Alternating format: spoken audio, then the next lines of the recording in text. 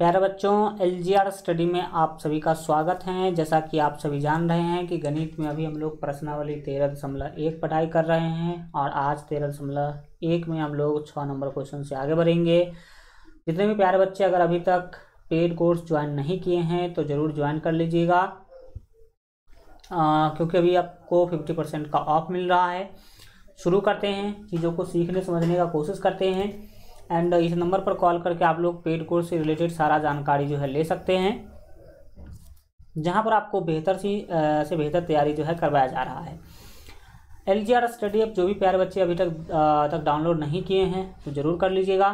क्योंकि इसमें आपको सभी विषय का वी वी ऑब्जेक्टिव क्वेश्चन का PDF V V subjective question का पीडीएफ कोई revision note model paper class note और ऑनलाइन टेस्ट बिल्कुल फ्री में मिलेगा इस वाले ऐप पर और इस वाले ऐप में चल रहा पेड कोर्स। दोनों का लिंक वीडियो के डिस्क्रिप्शन में है, या फिर आप लोग प्ले स्टोर से भी डाउनलोड कर सकते हैं।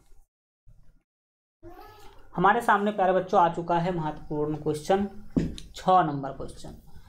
ये आपको दवा का एक कैप्सूल दिख रहा होगा। इसी कैप्सूल का पृष्ठीय क्षेत्रफल ज्ञात करना है। जिसके बारे में डिटेल जानकारी यहाँ पर लेना शुरू कीजिए मेरे से। इसमें क्या बोला गया पहली चीज़?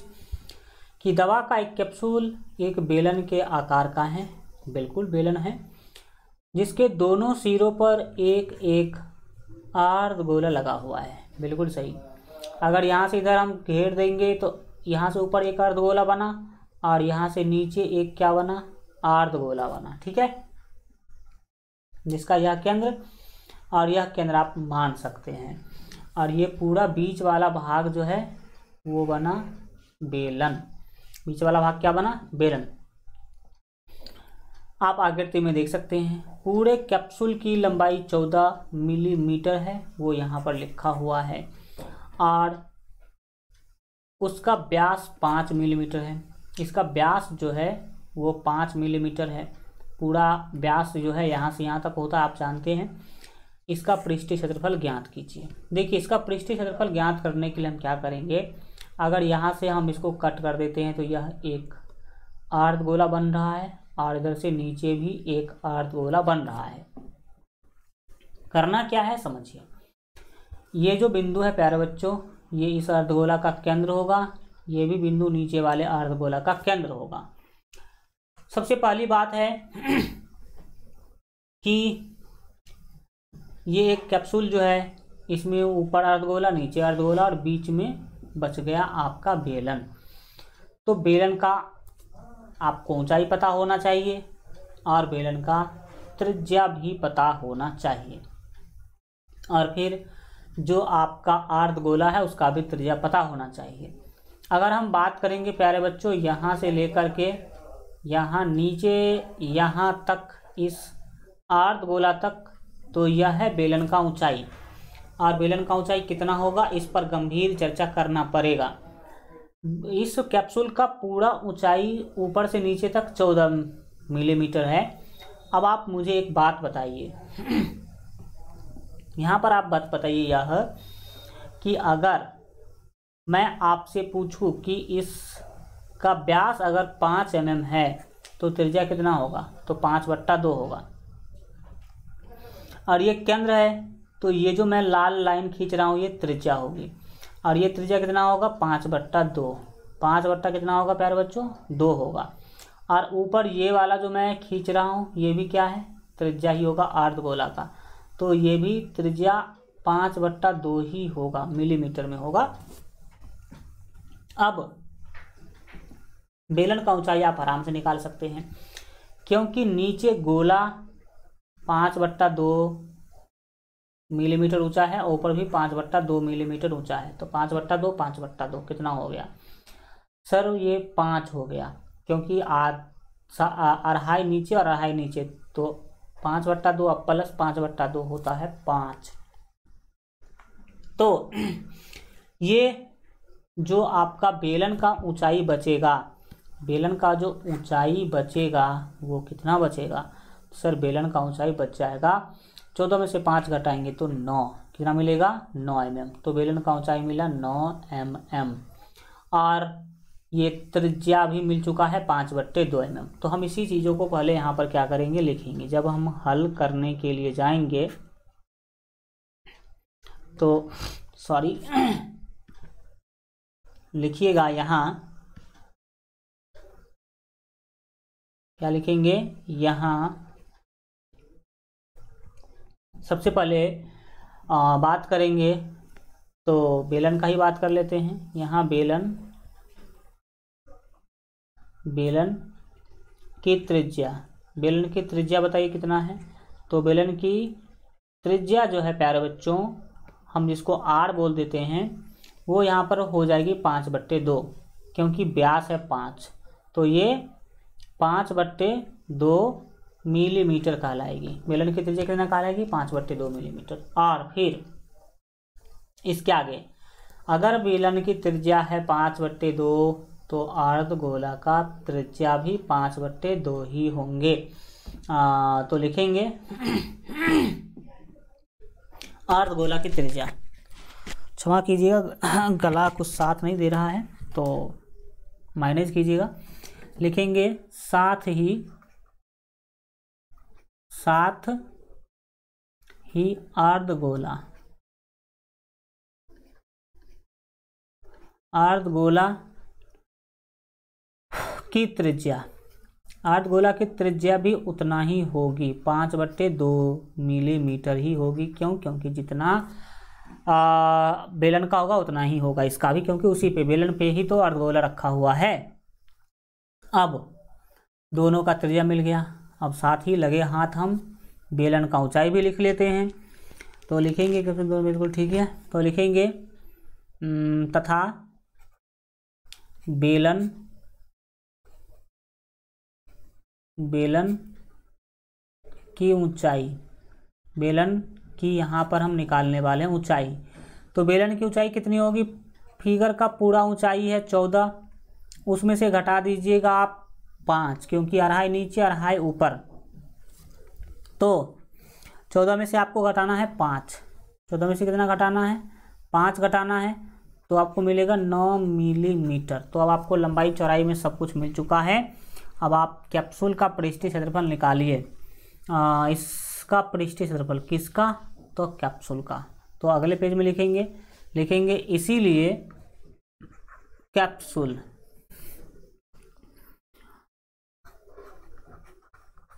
कैप्सूल का पृष्ठीय क्षेत्रफल। कैप्सूल का पृष्ठीय क्षेत्रफल हमें क्या करना है? निकालना है।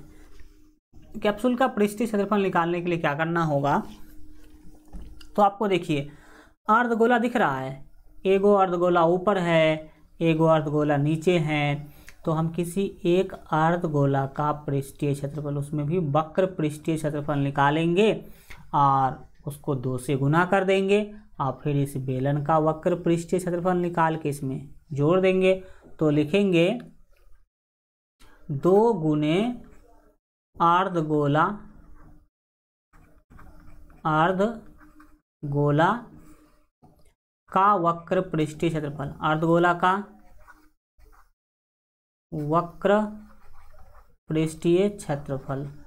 अर्धगोला का वक्र पृष्ठीय क्षेत्रफल हमने निकाल दिया, दो कर दिया गुना, क्योंकि दो का निकल जाए। और इसमें ज़ोर देना है, बेलन का वक्र पृष्ठीय क्षेत्रफल। बेलन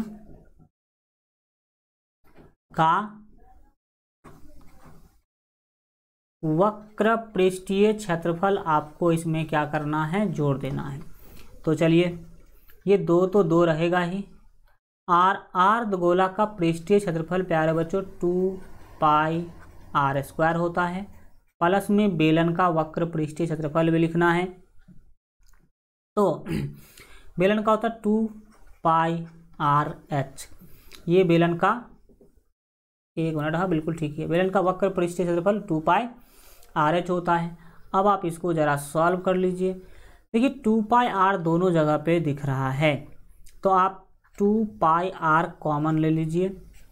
यहाँ पर अगर टू पाई आर कॉमन लेंगे तो ये टू तो बचेगा ही और एगो आर भी बचेगा। प्लस है तो plus. Two pi R common हो जाएगा तो एच बच जाएगा। क्या बचेगा? एच। अब हम बढ़ेंगे ज़रा इससे आगे और इसमें मान बैठाएँगे, सभी चीज़ों का डिटेल सॉल्व करेंगे हम अब। टू तो प्यारे बच्चों, टू है। पाई का मान हम बाईस बट्टा सात ही लिखेंगे क्योंकि क्वेश्चन में कुछ भी लेने को नहीं बोला है। आर मतलब त्रिज्या। त्रिज्या का मान अभी जस्ट हम लोग निकाले थे पाँच बट्टे दो। कोष्ट के अंदर दो गुने आर करेंगे। तो दो गुने आर। आर का मान फिर से पाँच बट्टे क्या रखेंगे? दो रखेंगे। प्लस में एच का मान लिखेंगे। एच यानी कि बेलन की ऊंचाई जो कि नौ है। तो बेलन का ऊंचाई यहाँ पर हमें लिख ले आ, लिख लेना होगा नौ। कितना लिखना होगा? नौ।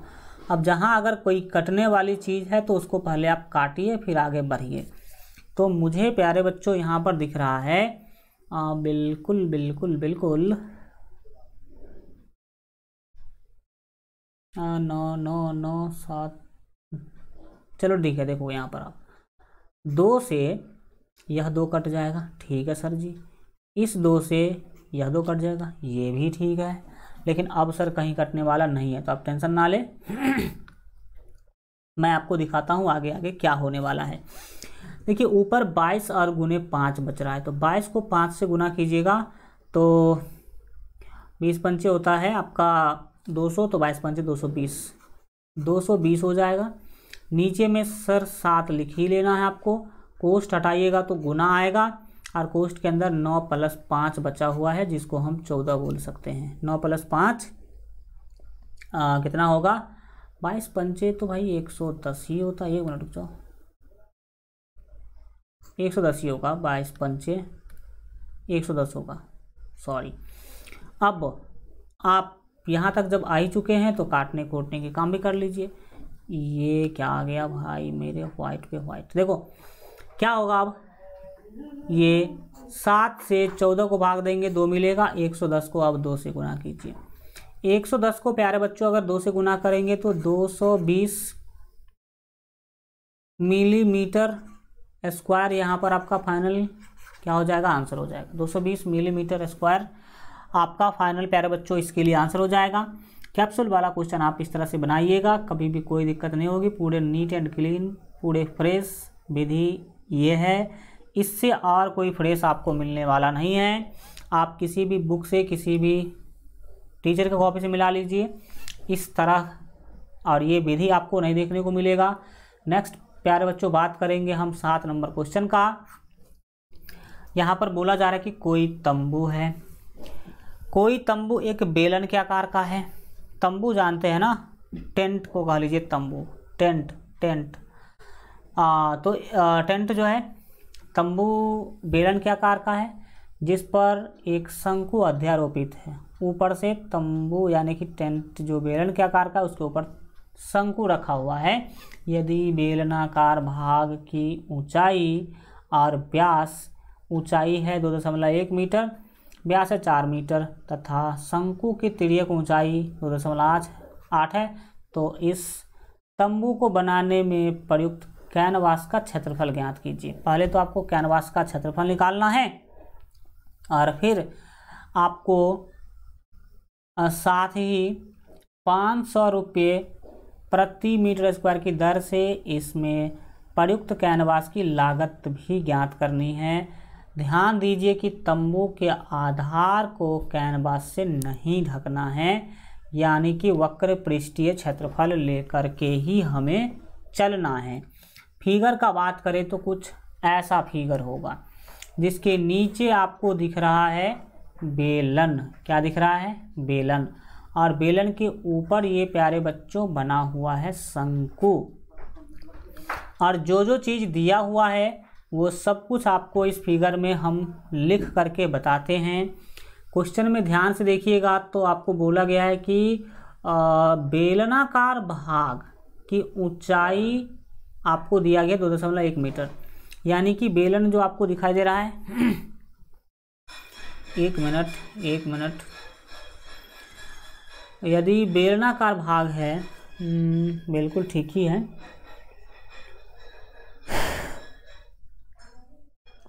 हम्म एक सेकंड एक सेकंड एक सेकंड।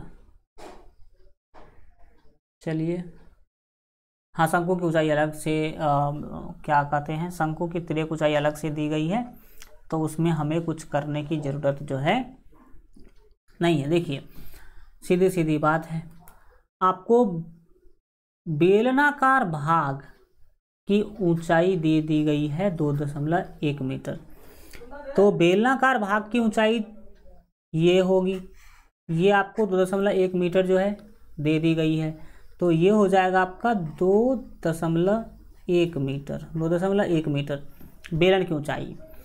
दूसरा आपको बोला गया कि ब्यास, बेलन का ब्यास चार मीटर दिया गया है।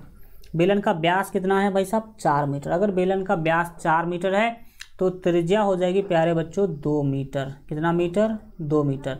और अगर बेलन की त्रिज्या दो मीटर है तो शंकु की त्रिज्या भी दो मीटर ही होगी। शंकु की त्रिज्या भी दो मीटर ही होगी।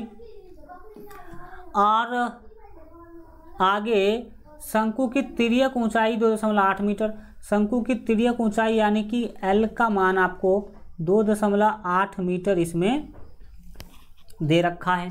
शंकु की तिर्यक ऊंचाई यानी कि एल का मान आपको दो दशमलव आठ मीटर क्वेश्चन में दे रखा है। अब आपको इसके आगे के बारे में जो है बताने के लिए बोला गया है। देखिए, शंकु में हमें ऊंचाई की ज़रूरत नहीं पड़ेगी क्योंकि त्रिज्या और त्रियक ऊंचाई मिल चुका है और शंकु का वक्र पृष्ठीय क्षेत्रफल होता है। आपको पता होना चाहिए कि पाई आर एल तो पाई आर एल से हमारा काम चल जाएगा। तो इतना लंबाई चौड़ाई आपको दिया है। अब आप इसके हेल्प से जो भी चीज़ें निकालना हो निकाल सकते हैं। तो जब हम हल करने जाएँगे तो जो भी चीज़ें यहाँ पर दिया है, उस सभी को हम क्या कर लेंगे? लिख लेंगे। लिखेंगे यहाँ। क्या पता चला भाई? यहाँ तो सबसे पहले पता चला कि बेलन का ऊंचाई, क्या चीज़? बेलन की ऊंचाई। बेलन की जो ऊंचाई है ना, वो क्वेश्चन में दो दशमलव एक मीटर दिया हुआ है। दो दशमलव एक मीटर दिया हुआ है। हल्का इसका मुकान अच्छा बना देते हैं। एक को तो दो दशमलव एक मीटर दिया हुआ है। एंड बेलन का त्रिज्या भी दिया है। एवं बेलन की त्रिज्या, अब बताओ भाई साहब, बेलन की त्रिज्या क्या होगी? बताइए, बेलन की त्रिज्या क्या होगी? तो सर, बेलन का जो व्यास है ना, वो क्वेश्चन में चार मीटर दिया था। बेलन का व्यास कितना दिया था? चार मीटर। तो बेलन का व्यास चार मीटर है, इसीलिए त्रिज्या हो जाएगी चार बट्टे दो मीटर। चार बट्टे दो का सीधा सीधा मतलब है दो मीटर। तो बेलन की त्रिज्या, बेलन की त्रिज्या जितना होगी उतना ही शंकु की त्रिज्या भी होगी। तो लिखेंगे साथ ही साथ ही शंकु की त्रिज्या। किसकी त्रिज्या? तो शंकु की त्रिज्या। शंकु की त्रिज्या, आप बताइए कि शंकु की त्रिज्या कितनी होगी? तो सर सीधी सीधी बात है। शंकु की त्रिज्या भी दो मीटर ही होगी, क्योंकि शंकु बेलन के ऊपर ही रखा हुआ है। एवं आपको शंकु का एल दिया हुआ है। लिखेंगे एवं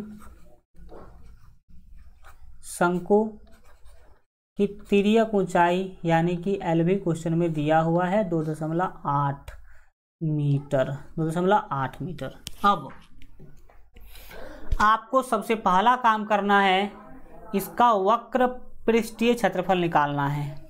कैनवास क्या पता है? कैनवास मान लीजिए कि कोई पदार्थ है जिसका यह तंबू बना हुआ है। जनरली टेंट में क्या करते हैं? तो त्रिपाल या प्लास्टिक का यूज़ करके हम टेंट बनाते हैं।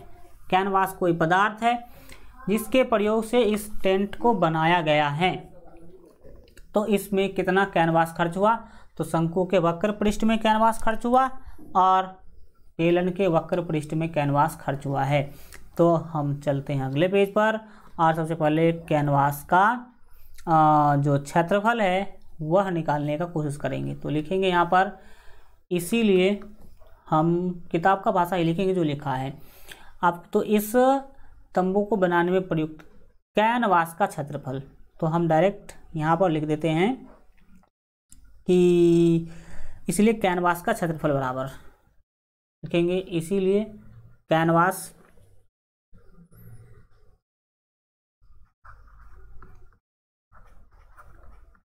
कैनवास का क्षेत्रफल बराबर क्या लिखेंगे?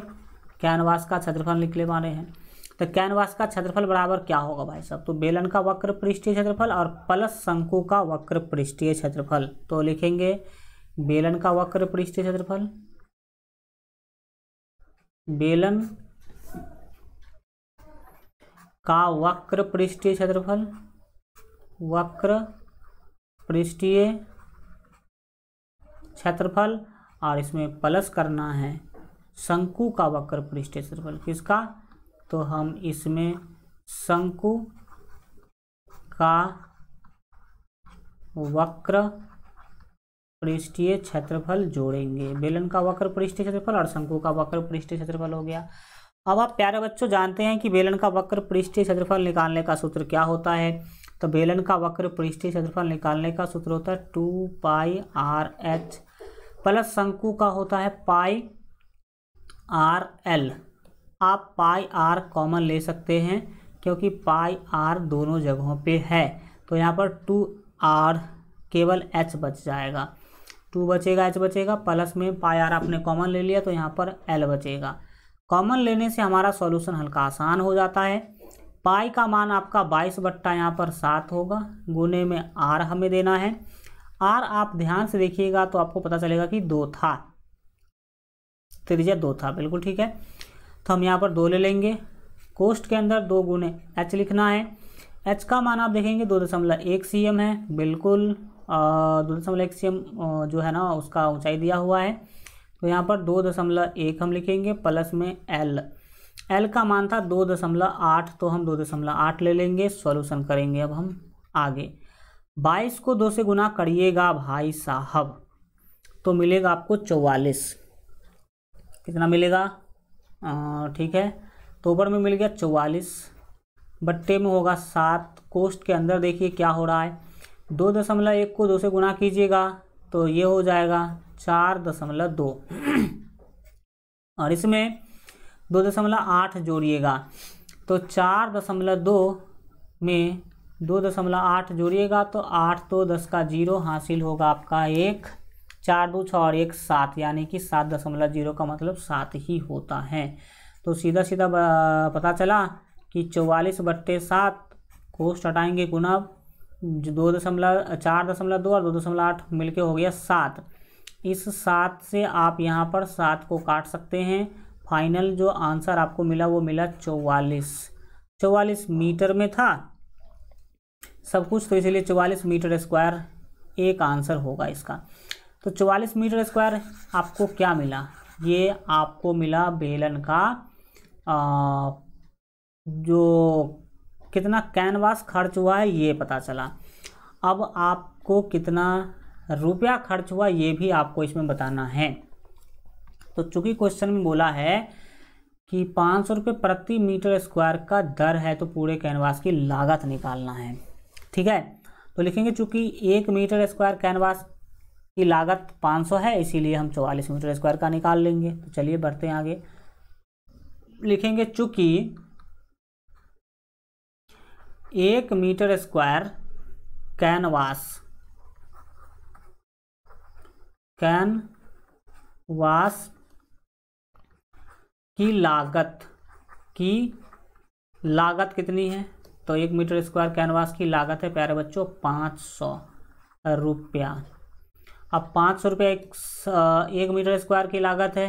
अब एक का लागत अगर पता हो तो आप कितना का भी निकाल सकते हैं। तो इसीलिए हमें चौवालीस मीटर स्क्वायर कैनवास की लागत पता करनी है। तो एक की लागत है पाँच सौ चौवालीस का निकालना है चौवालीस मीटर का तो चौवालीस से इसको गुना कर देंगे। चौवालीस से पाँच सौ को प्यारे बच्चों गुना कीजिएगा तो चार पंचे हो जाएगा बीस और चार पंचे फिर से बीस तो आपको बाईस हज़ार मिलेगा। कितना मिलेगा? बाईस हज़ार। बाईस हज़ार रुपया आपको खर्च लगेगा उस तंबू यानी कि टेंट को बनाने में। तो दो आंसर हुआ, एक तो बाईस हज़ार और एक तो हुआ आपका चौवालीस मीटर स्क्वायर। नेक्स्ट हम आगे बढ़ेंगे और आठ नंबर और नौ नंबर दो क्वेश्चन बचे हैं तो दोनों क्वेश्चन अभी हम लोग क्या करेंगे? निपटाएँगे बहुत ही डिटेल में। तो समझने, सीखने का पूरा प्रयास कीजिएगा। हमारा जो क्वेश्चन है वो क्या बोल रहा है? बोल रहा है कि ऊंचाई दो दशमलव चार सी एम और व्यास एक दशमलव चार सी एम वाले एक ठोस बेलन में से इसी ऊंचाई और इसी व्यास वाला एक शंकवाकार खोल काट लिया जाता है। एक भाई साहब बेलन है और उस बेलन के अंदर से एक शंकु काट लिया गया। कई बार आपने देखा होगा कि लकड़ी को अंदर से खोद करके कई सारे चीज़ें बनाई जाती हैं। लकड़ी के इस तरह के सिल, बेलन के जैसे सिल को खोद करके बनाया जाता है, ओखली। ऐसा सिल है तो हमने देखा कि इसको अंदर से खोद करके ओखली बना दिया जाता है। अंदर से ऐसे खोद करके ओखली बना दिया जाता है। इसमें चावल वगैरह कूटने का काम होता है। गाँव घर में अभी भी ये चलता ही है। लेकिन यहाँ पर अंदर से खोद करके ये ओखली नहीं बनाया गया, अंदर से खोद करके शंकु काटा गया है। ऐसा कुछ फिगर बनेगा, जो आपके सामने प्रस्तुत है। ये है बेलन, और बेलन के अंदर से खोद करके यह शंकु काट लिया गया है। यानी कि ऊपर से देखिएगा तो बेलन दिखेगा, और अंदर से शंकु जैसा गड्ढा दिखेगा। किसके जैसा गड्ढा दिखेगा? तो अंदर से शंकु के जैसा गड्ढा दिखेगा आपको। अब शंकु जैसा गड्ढा काटा गया अंदर से तो आपको बोला गया है सब क्या चीज़ की ऊंचाई है दो दशमलव चार सी एम व्यास एक दशमलव चार सी एम वाले एक ठोस बेलन में से इस, इसी ऊंचाई और इसी व्यास वाला एक संखवाकार खोल काटा गया है। यानी कि जितना व्यास है, बेलन का उतना ही व्यास है शंकु का। जितना ऊंचाई है बेलन का, उतना ही ऊंचाई है शंकु का। ऐसा कुछ गड्ढा बनाया गया है तो शेष बच्चे ठोस का निकटतम वर्ग सेंटीमीटर तक पृष्ठीय क्षेत्रफल ज्ञात कीजिए। तो शेष बचा ठोस क्या है? इसका क्षेत्रफल, अंदर से आपको शंकु का वक्र पृष्ठीय क्षेत्रफल निकालना होगा। चारों साइड से बेलन का वक्र पृष्ठीय क्षेत्रफल निकालना होगा। और ऊपर में देख सकते हैं ये वाला वृत्त जो है इसका क्षेत्रफल भी निकाल के जोड़ना होगा क्योंकि इधर से वो पूरा ठोस बचा ही है। ऊपर से वृत्त क्या है? बचा ही है। तो चलिए पहले तो हम लंबाई चौड़ाई के बारे में पूरा डिटेल चर्चा करेंगे फिर हम आगे बढ़ेंगे। हल करने के लिए जब प्यारे बच्चों हम लोग जाएँगे आ, तो फिगर में तो वैसे ही हमने सब कुछ लिख ही दिया है लेकिन फिर भी आपको यहाँ दायित्व तो बनता है आपका। कि विशेष रूप से चर्चा करें। पहले बेलन की चर्चा है तो हम लोग बेलन का ही चर्चा करेंगे, लिखेंगे यहाँ। यहाँ क्या है? तो यहाँ पर है आपका बेलन। बेलन की ऊंचाई। बेलन की क्या है प्यारे बच्चों? तो बेलन की आपको ऊंचाई दी गई है। बेलन की ऊंचाई आपको दिया गया है प्यारे बच्चों, दो दशमलव चार, दो दशमलव चार सी एम दो दशमलव चार सी है। तो बताइए कि शंकु का ऊंचाई कितना हो जाएगा? तो शंकु का ऊंचाई भी उतना ही होगा जिसके बारे में आगे हम लिखेंगे। तो बेलन की ऊंचाई इतना है। एवं यहाँ पर बेलन की त्रिज्या कितनी होगी? तो सर, बेलन की त्रिज्या जो है, आप देख सकते हैं कि व्यास दिया हुआ है एक दशमलव चार सी एम तो त्रिज्या इसको दो से भाग करेंगे तो मिल जाएगा। यानी कि ज़ीरो दशमलव सात सी एम हम्म, हम्म, हम्म, सात बट्टे सात चौदह बट्टे बीस सात बट्टे दस भी लिख सकते हैं। एक काम करो आप प्यारे बच्चों। रहने दीजिए कोई दिक्कत नहीं है। एक काम करो क्योंकि जब हम चाहते हैं कि सॉल्यूशन आपका छोटा बने एंड सॉल्यूशन छोटा बने वो भी ठीक है। सीधा समझो। चौदह को दो से भाग देंगे, सात होगा, जो कि ज़ीरो दशमलव सात सीएम हो जाएगा। तो आपको यहाँ पर संग बेलन का त्रिज्या भी मिल गया। अब क्वेश्चन में चूँकि बोला है कि बेलन का और शंकु का त्रिज्या और ऊंचाई समान है तो इसीलिए जो आपका शंकु है, शंकु शंकु की जो ऊंचाई है, वो भी प्यारे बच्चों दो दशमलव चार मीटर ही होगी। एवं एवं, शंकु की किस चीज़ की? तो शंकु की जो त्रिज्या है, वो भी प्यारे बच्चों ज़ीरो दशमलव सात सी एम ही होगी, क्योंकि क्वेश्चन में बोला कि दोनों बराबर है। अब आपको इस ठोस का कुल पृष्ठीय क्षेत्रफल निकालना है तो हम इसमें शंकु का वक्र पृष्ठीय क्षेत्रफल बेलन का वक्र पृष्ठीय क्षेत्रफल और ऊपर से जो ये वाला वृत्त बचा हुआ है इसका क्षेत्रफल इसमें जोड़ेंगे। तो चलिए हल करते हैं अगले पेज में आ, लिखेंगे इसीलिए एक एक मिनट देखिए क्योंकि यहाँ पर हमें कुछ लग रहा है ये लग रहा ये है कि शंकु का वक्र पृष्ठीय क्षेत्रफल निकालने के लिए सूत्र होता पाई आर एल। भाई साहब, शंकु का ऊंचाई दिया है, त्रिज्या दिया है, एल तो दिया नहीं तो आपको एल निकालना होगा। तो पहले एल निकाल लेते हैं, लिखेंगे इसीलिए एल बराबर। एल बराबर, प्यारे बच्चों, जो सूत्र होता है, वो होता है H square plus R square. H square plus R square. अब आप ही बताइए, एच का मान कितना है? हाँ तो एच का मान है दो दशमलव चार। दो दशमलव चार का स्क्वायर होगा प्लस आर का मान है ज़ीरो दशमलव सात इसका स्क्वायर होगा। अब आप इसका आ, मान लिखने का प्रयास करें तो सीधा सीधा आप बता सकते हैं कि सर चौबीस का स्क्वायर होता है पाँच सौ छिहत्तर। चौबीस का स्क्वायर पाँच सौ छिहत्तर होता है चूँकि दो दशमलव चार गुने दो दशमलव चार करेंगे तो पाँच सौ छिहत्तर में दो अंक पहले दशमलव लगा लेना होगा। जो कि हम यहाँ पर दो अंक पहले क्या लगा लिए हैं? दशमलव लगा लिए हैं। फिर प्लस है तो प्लस सात का स्क्वायर उनचास होगा। उनचास में भी दो अंक पहले दशमलव लगाना है तो ज़ीरो दशमलव उनचास आप ऐसे लिख सकते हैं। फिर हम इसी को आगे अगर बढ़ा के यहाँ से लिख देने की कोशिश करूँ तो जोड़िएगा तो कितना होगा? ये पाँच सौ छिहत्तर में उनचास जोड़िएगा तो नौ, छः, पंद्रह, चार, सात, ग्यारह और एक, बारह और पाँच, एक, छः। यानी कि छः सौ पच्चीस हो जाएगा। दशमलव दो अंक पहले होगा। यानी कि छः दशमलव दो पाँच, छः दशमलव दो पाँच होगा। यानी कि छः सौ पच्चीस मिला। और छः सौ पच्चीस के बारे में जानते हैं कि पच्चीस गुने पच्चीस होता है। तो पच्चीस गुने पच्चीस नहीं, दो दशमलव पाँच बाहर आएगा। दो दशमलव पाँच सी आपको मिल गया क्या चीज़? तो तिरक ऊंचाई यानी कि एल मिल गया। तो एल मिल गया तो अब हम क्या करेंगे? तो ठोस का पृष्ठीय क्षेत्रफल निकालेंगे। तो लिखेंगे इसीलिए ठोस का पृष्ठीय क्षेत्रफल बराबर।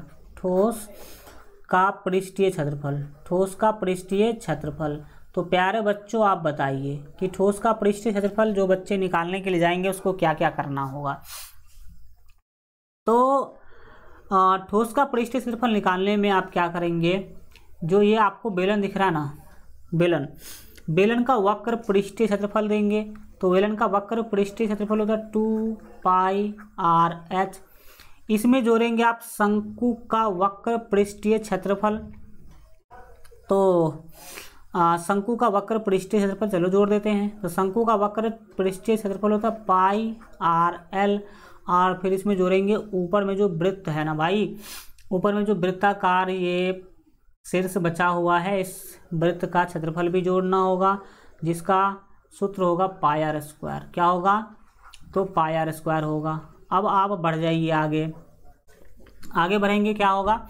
चीज़ों को समझने की कोशिश करिएगा। पाई आर सब जगह पे है। यहाँ भी पाई आर, यहाँ भी पाई आर, यहाँ भी पाई आर। तो आप पाई आर ले सकते हैं कॉमन। चलिए, पाई आर हम लोग कॉमन लेते हैं। अगर आप पाई आर कॉमन ले लेते हैं तो यहाँ बचेगा टू एच, यहाँ बचेगा एल, और यहाँ पर आपको मिल जाएगा आर। अब मान रखिए, पाई का मान कुछ क्वेश्चन में नहीं बोला है तो बाईस बट्टा सात ही लेंगे। आर का मान अगर आप ध्यान से देखिएगा तो क्वेश्चन में मिलेगा ज़ीरो दशमलव सात। ज़ीरो दशमलव सात। चलो भाई ज़ीरो दशमलव सात लिख लेते हैं। कोष्ट को बंद करेंगे दो गुने एच लिखेंगे। एच का मान अभी जस्ट दो दशमलव चार देखे थे जो कि दो दशमलव चार बिल्कुल ठीक है और एल का मान दो दशमलव पाँच है। तो एच का मान दो दशमलव हम यहाँ पर चार लिख लेते हैं प्लस में हम लिखेंगे एल का मान जो एल का मान ज़ीरो दशमलव सात है। यहाँ पर आपको आ, बिल्कुल भाई एक मिनट एक मिनट एल का मान दो दशमलव पाँच है सॉरी अभी जस्ट निकाले हैं दो दशमलव पाँच। तो यहाँ पर आपको मिल जाएगा दो दशमलव कितना? पाँच। और इसमें जोड़ना है आर जो कि आर अभी जस्ट ज़ीरो दशमलव सात आप यहाँ पे लिखे हैं तो आर का मान ज़ीरो दशमलव सात यहाँ पर लिख देना होगा। अब बढ़िए आगे। आगे बढ़िएगा तो प्यारे बच्चों, क्या मिलेगा देखिए। इस सात से ज़ीरो दशमलव सात को भाग दीजिएगा तो ज़ीरो दशमलव एक मिलेगा। क्या मिलेगा? ज़ीरो दशमलव एक। एंड अब बढ़िए आगे। और देखिए कि होगा क्या। बाईस को ज़ीरो दशमलव एक से गुना कीजिएगा, ये दो दशमलव दो हो जाएगा। क्योंकि एक से गुना करने पर तो कोई फ़र्क पड़ेगा नहीं, दशमलव के एक अंक पहले ज़ीरो है तो एक अंक पहले ज़ीरो लग जाएगी यहाँ पर। अब क्या करूँ? तो कोष्ट के अंदर देखो आप चौबीस दो दशमलव चार को दो से गुना कीजिएगा तो ये चार दशमलव आठ होगा प्लस ये दो दशमलव पाँच और ज़ीरो दशमलव सात को जोड़ लीजिए आप अभी ही आ, तो या फिर रहने दीजिए। दो दशमलव पाँच ज़ीरो दशमलव सात ये सभी को इकट्ठे यहाँ पर जोड़ेंगे। दो दशमलव दो लिखिए कोष्ट हटाइएगा तो गुना और दो पाँच सात और आठ पंद्रह। कितना हुआ भाई साहब? एक मिनट। सात पाँच बारह और आठ बीस होगा भाई, पंद्रह कहाँ से आ गया?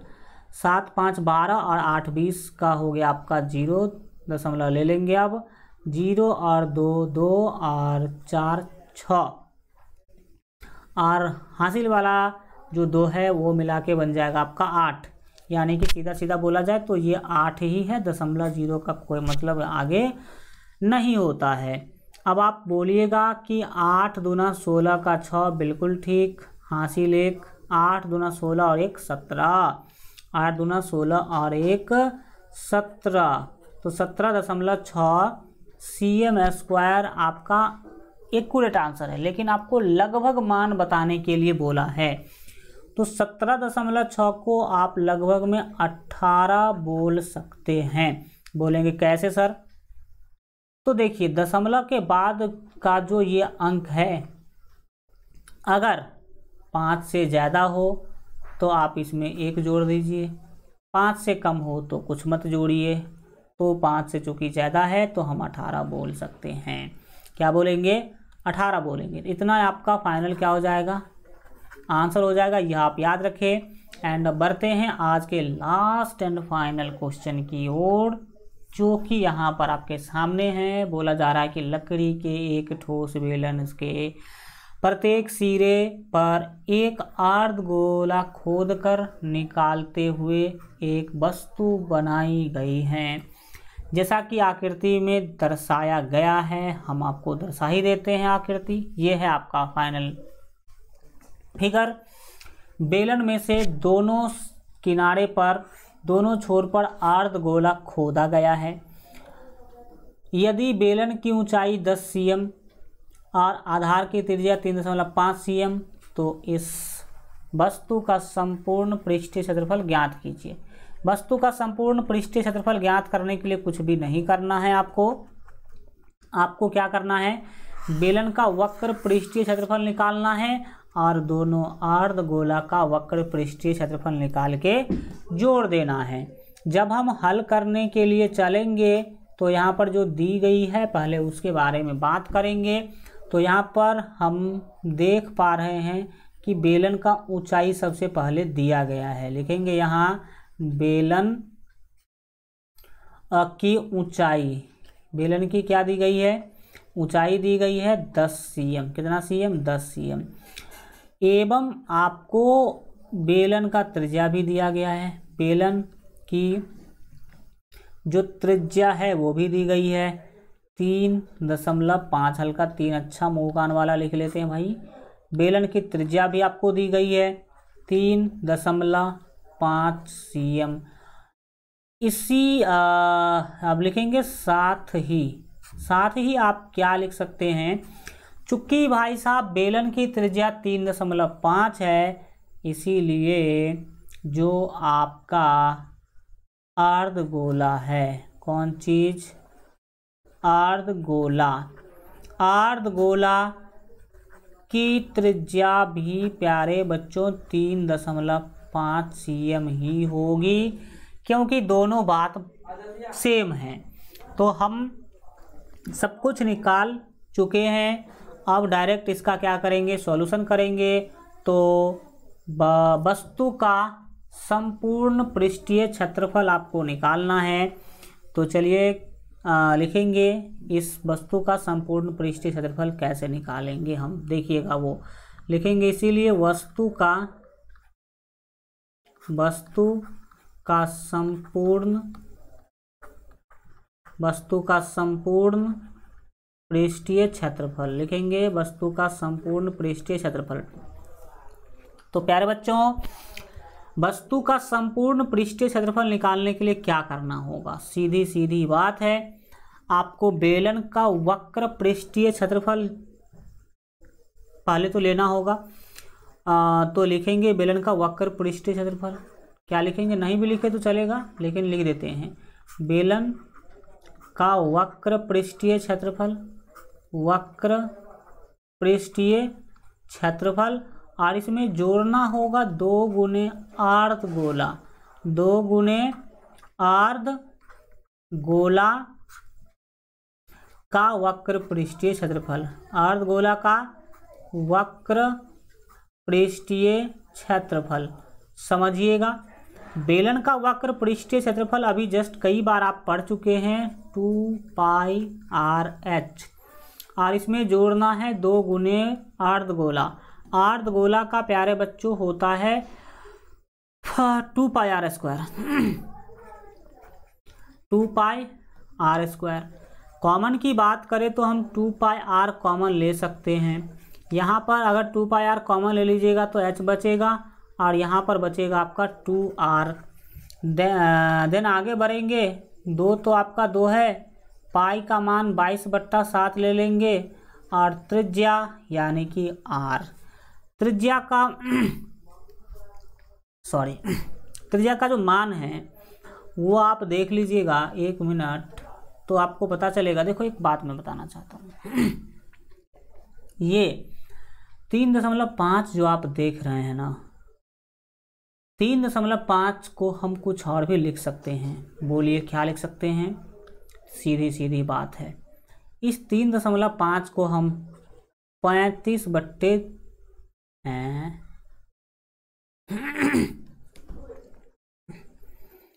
एक मिनट। त्रिज्या तीन दशमलव पाँच तो बोली है। देखिएगा। पैंतीस बट्टे दस लिख सकते हैं। पैंतीस बट्टे कितना लिख सकते हैं? दस। आप बोलिएगा कि पैंतीस बट्टे दस से क्या होगा? तो देखिए, सात पंचे पैंतीस और दो पंचे दस, यानी कि सात बट्टे दो लिख सकते हैं उन बातों को। सात बट्टे दो सी एम बोल सकते हैं कि नहीं? बोलेंगे यस सर तो अगर उसका सात बट्टे दो सी एम हो गया तो अर्धगोला का भी हम सात बट्टे दो सी एम ही लिखेंगे। तो त्रिज्या सात बट्टे दो सी एम लिख लेते हैं, काम अच्छा चलेगा। ऊंचाई जो क्वेश्चन में बोल रखा है, वो तो लिखेंगे ही लिखेंगे, लेकिन उससे पहले तो भैया हम कोष्ट के बाहर का ना काम करेंगे। कोष्ट के बाहर त्रिज्या है। त्रिज्या का मान रखेंगे सात बट्टे दो। कोष्ट के अंदर है, ऊंचाई का मान रखना, ऊंचाई था दस। उसमें जोड़ेंगे टू आर, टू तो टू है। आर का मान आपका सात बट्टे दो भी जस्ट हम लोग पता करे थे। अब आपका काम बहुत ही हो गया आसान। कितना आसान हुआ देखिएगा। यहाँ पर इस दो से यह दो कट जाएगा। सात से सात कट जाएगा। दो से दो कट जाएगा। और क्या करेंगे? तो और देखिएगा, आपको यहाँ पर मिल रहा है बाईस। कोष्ट के अंदर आप देखिएगा तो दस और सात सत्रह मिलेगा। कितना मिलेगा? सत्रह मिलेगा। यानी कि आप सत्रह यहाँ पर लिख सकते हैं। सत्रह दुना चौंतीस का चार, हासिल तीन, सत्रह दुना चौंतीस और तीन सैंतीस। तो तीन सौ चौहत्तर सी एम स्क्वायर आपका फाइनल क्या होगा? आंसर होगा। इस तरह से यह चैप्टर आपका हो गया कंप्लीट। अगले क्लास में हम लोग ये वाला चैप्टर आपका प्रश्नावली तेरह दशमलव दो शुरू करेंगे। Thank you so much goodbye take care मिलेंगे हम लोग अगले क्लास में। तब तक अपना ख्याल रखिए और एलजीआर स्टडी देखते रहिए।